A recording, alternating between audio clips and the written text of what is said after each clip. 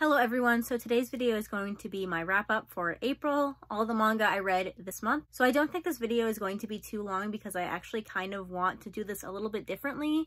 So this month I happened to read three series that were all very similar, or they were different but they had very similar themes and I kind of want to talk about that all together. I didn't intend to read these manga with the same themes, I just happened to do that. And then once I get through that, we'll talk about the other things I read this month. So the first three series I read in April were Princess Jellyfish. I read the complete series, volumes one through nine. Um, some of them are omnibus volumes, some of them are just regular volumes. I think only nine is a regular volume, but I read the whole series this month. And Boys Run the Riot, one through four, the entire series of this, and then the entire series of Love Me for Who I Am, so five volumes of this. And the reason I want to talk about all of these together is because they all kind of have the same theme of the clothes you wear representing how you feel inside. So I'll give a brief synopsis of each series. Princess Jellyfish is about a group of otaku girls who all live together in this boarding house. Uh, and then this guy here who likes to wear women's clothing um, kind of disrupts their life and introduces them into the world of fashion. And we come to find out that the main character here actually kind of uses her love of jellyfish. She's obsessed with jellyfish. She can channel that love of jellyfish into making clothing and she finds out that she's kind of successful at that. So that's what this is. Boys Run the Riot is about this boy who is trans and he meets this other boy and they make a fashion brand together. And Love Me For Who I Am is about a non-binary teenager who is introduced to this maid cafe where all the people who work there were assigned male at birth um, they may identify as male, they may not. They may identify as trans um, or something else. And the main character comes to find themselves there um, in wearing the maid clothing. So if you couldn't tell, all of these manga have the theme of how what you wear kind of represents you and can change you. In Princess Jellyfish, the main character comes to realize that she might like wearing clothes or she might not like wearing certain other clothes. Um, but either way, she kind of discovers this about herself, and all the other characters in here also kind of discover themselves through fashion, whether it's making the fashion or wearing the clothes. And I, what I would call the secondary main character, he also discusses why he wears women's clothing and how that has to do with his identity, what elements of his past and present kind of influence him to choose to wear women's clothing. He wears it more often than not, honestly. And yeah. And in Boys Run the Riot, the main character uses clothing to represent himself because at school he feels like he can't really present himself as the boy he is. He has to conform to what the school wants him to wear, stuff like that. Um, so he chooses to make a fashion brand to kind of represent these feelings and also wear the clothing that he wants to wear. And this one might be the most interesting because it gives you a bunch of different ideas of why these people choose to wear um, the maid dresses and there's a diff couple different points of view on that. Um, like I mentioned, some of the characters are trans, some of them are not trans, they just like wearing the clothing, some of them just like cosplay, so they like to wear uh, the maid outfit.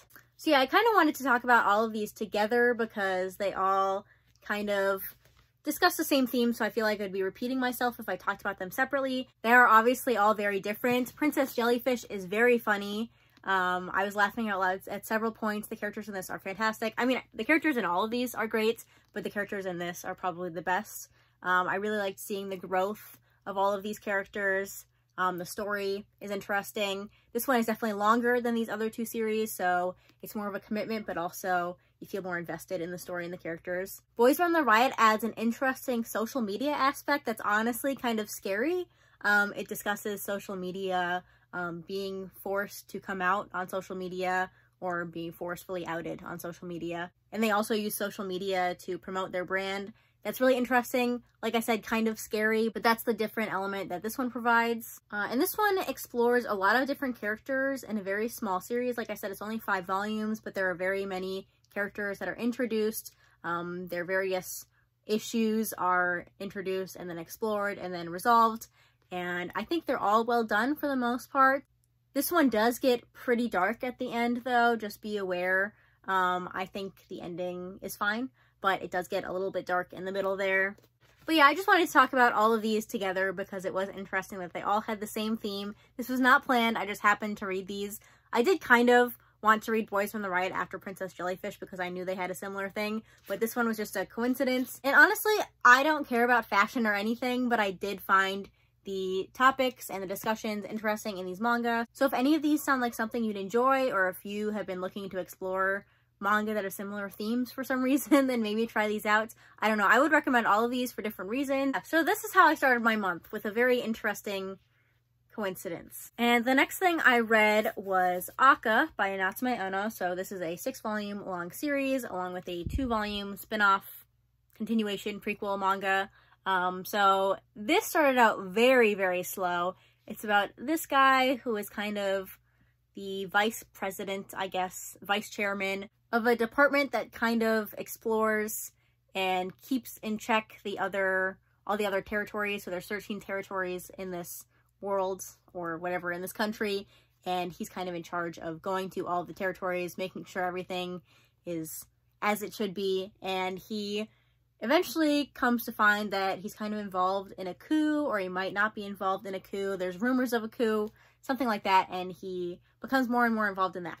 I will say this starts out very, very, very slow. For some reason, there's lots of focus on food, which I kind of like as a world building standpoint. The world building in this manga is very good, but there's lots of focus on food and it's only six volumes long and there's a lot of focus on food, which like I said, it's interesting to see like the cultural aspects, why, like there's one um, section or one territory in this country where all the people are a lot bigger, so all their food is bigger, and they kind of talk about the food in that way, and all the other different territories have different types of food. So that's interesting but it's focused on a lot. and I don't think it needs to be focused on that much, um, especially since the start of this is so slow.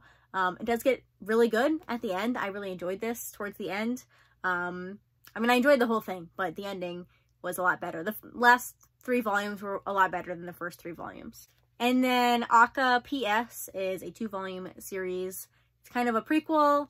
Um, actually, I think it's this first volume is definitely a prequel. It follows like a bunch of the big characters and how they kind of came to be. I can't remember their titles or I would tell you their titles, but how they came to be where they are at the beginning of ACCA. I like this volume a lot more than the second volume, which follows other characters kind of during, well, it's also like before this, the time period of this, but also during it, I think, if I can remember right.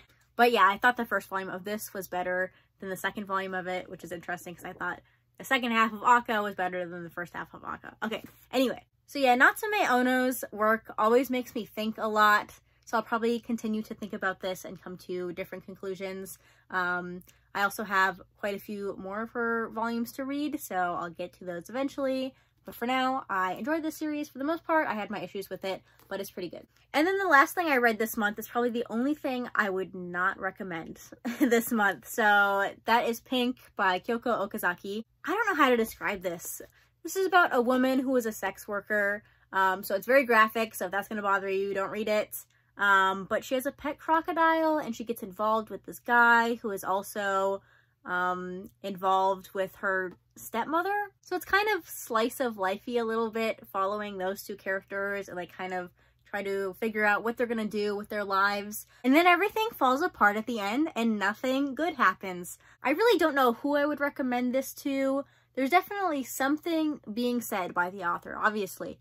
I don't know if I understand what the message is here. Um, but I didn't like it very much and I would not recommend it. And I don't know what I'm going to do with this volume, but for now, I'm just going to say I would probably not read this again.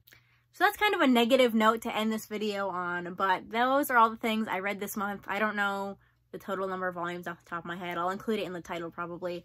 Uh, but yeah, let me know if you've read any of these, what you thought of them, or what you read in April, what your favorite read was, what your least favorite re read was. I'd love to read those comments down below. But that's going to be it for this video. Thanks for watching, and I'll see you next time. Bye!